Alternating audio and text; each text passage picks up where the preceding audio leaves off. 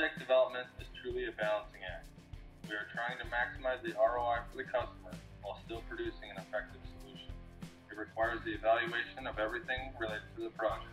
This includes utility rates and rebates, IES foot candle recommendations, mounting and wiring needs, as well as fixture efficacy and capability.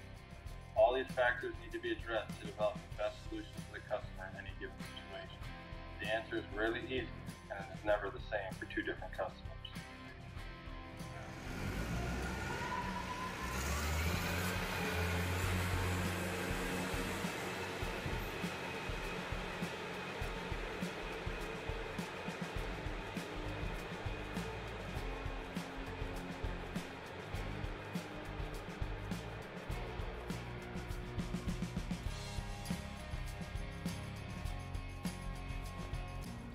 we only have a five-year lease here. And when Brian came to us with this project, and we were already one year into this, and he said the, the issue is there's a six-year payback, which means there'd be two years that we were in here. I said, so what?